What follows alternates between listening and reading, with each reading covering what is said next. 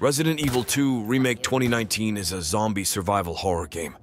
It's a series I believe there are 10 of them. It takes place in Raccoon City Police Station two months after Resident Evil 1.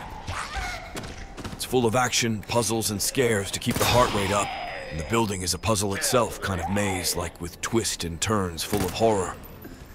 There are also movies and TV series about Resident Evil which go with the games. The puzzles are challenging but not so difficult that you're quit. The story itself keeps you on edge to see what happens next.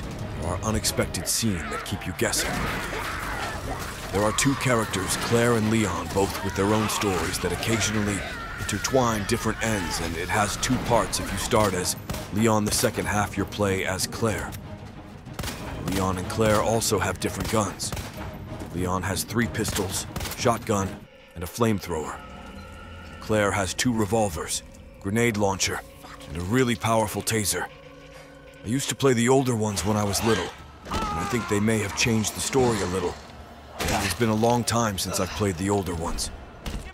Resident Evil was the first horror game that I played. It came out in 1996. As far as the gameplay itself, the ammo and items are limited, so you're always running or trying to find bullets or health. There are different types of zombies, and they're not all human. They'll pop around corners and surprise you, plus it's dark. Most are slow. They can be hard to shoot. Some of the more mutated one move faster and hit harder.